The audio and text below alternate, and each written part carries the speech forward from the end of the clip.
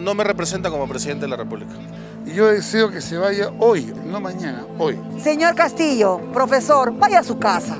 ¿Qué le puedo decir si no ha hecho nada? Que ha hecho mal todo este año. Que aprenda a gobernar, pues. Muy mal gobierno, en realidad hemos escogido muy mal. Malísimo. Que aprenda a estudiar primero que se prepare para ser presidente.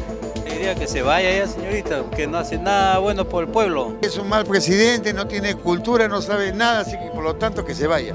No te queremos. Todos nos estamos muriendo de hambre, que se debería ir ya.